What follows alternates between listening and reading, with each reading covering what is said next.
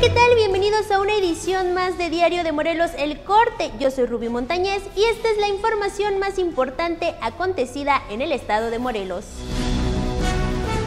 En Morelos confirman el primer caso de lepra. Se trata de una mujer. El Sistema Nacional de Vigilancia Epidemiológica señaló que en México, en lo que va del 2020, tienen el registro de 89 casos en el país. Manifestantes bloquearon Avenida Morelos durante varias horas, lo que ocasionó caos vial en Cuernavaca. Tras el bloqueo, autoridades trasladaron áreas municipales del edificio Papagayo y Tesorería a otras dependencias. La Dirección de Diversidad Sexual de la Secretaría de Gobierno lanzó la campaña Es valiente ser incluyente, la cual busca poner fin a la discriminación. Luis Héctor Herrera López, director general de Asuntos Religiosos del Gobierno del Estado, ha iniciado diálogo con la Iglesia Católica para tomar medidas y evitar contagios por COVID-19 ante las celebraciones religiosas de fin de año.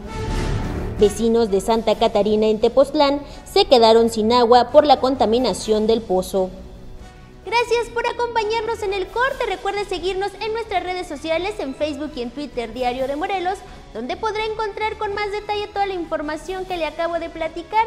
Yo soy Rubí Montañez y nos vemos la próxima.